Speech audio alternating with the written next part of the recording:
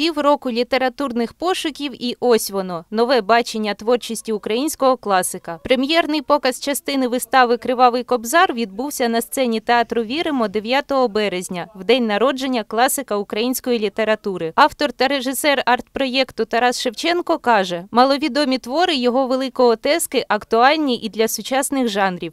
Работали над разными его произведениями, малоизвестными, те, которые, например, в школе вообще не проходят. Оказалось, что там есть очень много интересных и с точки зрения сюжета, и с точки зрения хоррора, поскольку мы этот жанр выбрали, и выбрали его не случайно, не просто так, а почувствовали, что в его произведениях это все заложено. Это есть. Он как бы об этом сегодняшним языком, можно так можно сказать, писал, в таком жанре писал. Втім, сама вистава не є лише повторенням творів Шевченка. У ній Кобзар та його герої стикаються із сьогоденням, а іноді й навпаки. Возникла идея э, м, дописать свою историю, свой текст э, и персонажей, которые бы столкнулись с персонажами и с самим Тарасом Григорьевичем.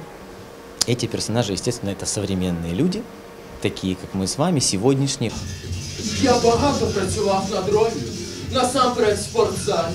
Потім довелось згадати шкільне минуле, коли я займався в секції карате, ще опанував їзду верх. Вважаю, це був корисний досвід для мене і як для актора.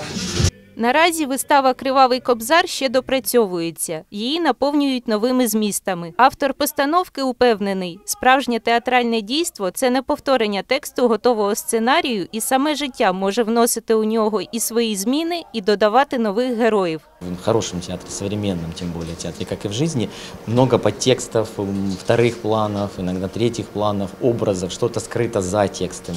То есть, когда текст, это является только верхушкой айсберга и э, слоєм історії. Ще треті півні не співали, ніхто ніде не гомонів, сичі в гаю перекликались, та ясень раз у раз скрипів. Олена Пічуріна, Руслан Герасименко. Новини 9 каналу.